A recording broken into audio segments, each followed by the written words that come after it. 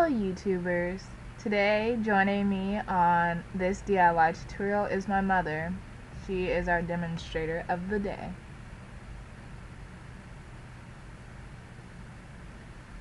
First, this is a two a combo of two DIYs, the shirt romper and the tube top. Using a ruler, cut a straight line using your armpit, uh, the armpit part of the shirt as a finish, as your stopping point, and guide. Cut down the sleeve. And underneath the collar, cut straight across your shirt, the top of your shirt.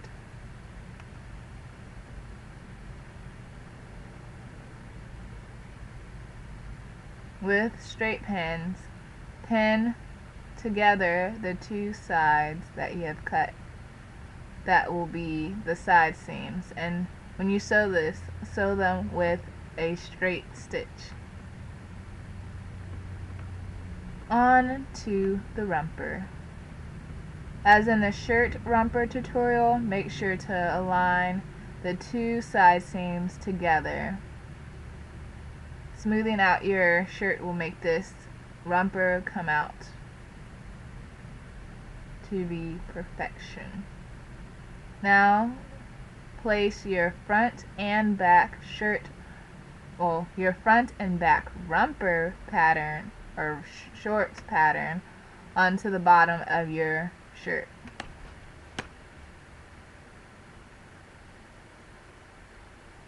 And pin the pattern down.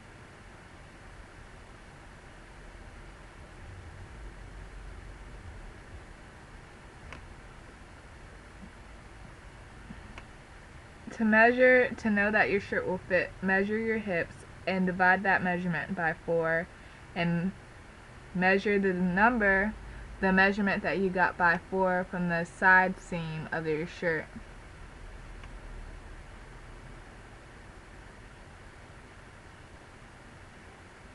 From and for the front, cut up to the line, the dotted line where it says shorten and lengthen here. In the back, repeat the same process, but divert off of the fabric to make a curve.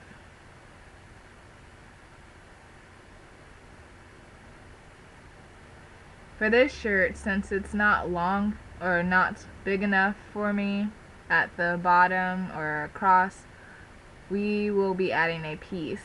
And my measurement divided by 4 is 11. So this is not 11 inches across it is 9 so we have to add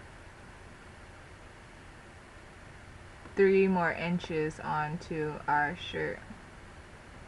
And do that by taking the sleeve the excess fabric from the sleeve and cutting the three inches onto our shirt. And from the back from 5 inches we're going to cut a curve up to the front of our tube top part. This will help it fit better, the top of your tube top fit better. It's not necessary but you can do this, can do that step.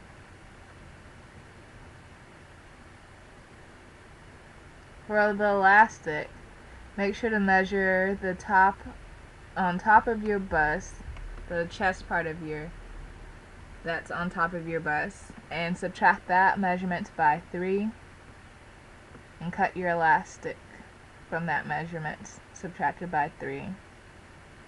And we are we have marked four places in our elastic.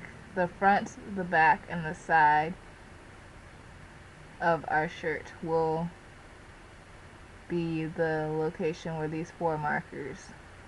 And when you sew, sew the elastic on a zigzag stitch and sew the elastic to the top of the shirt and then flip that under for a cleaner and more professional look.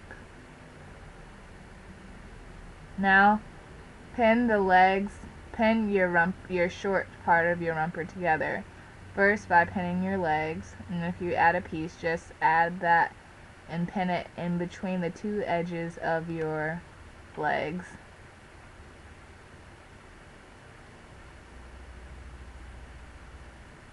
Remember to sew the legs before sewing the crotch, crouch of your shorts.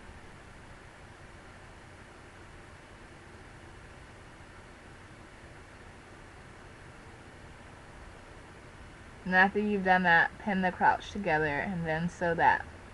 So this short pattern will be sewn on a straight stitch like the side seams. of our tube top.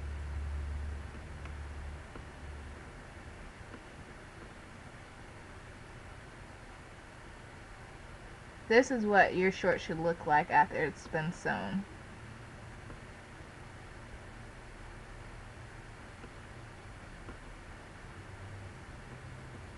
The last and final part of this DIY tutorial is the front tab of your shirt. Make sure to fold it down and sew it flat so it does not stick out. You may add elastic for the waistband if you like to, but as you'll see in my finished product, I like to wear a belt to cinch the waist. But elastic can be added as well. Thank you for watching, and please feel free to watch other more videos from my shirt series. There's so many things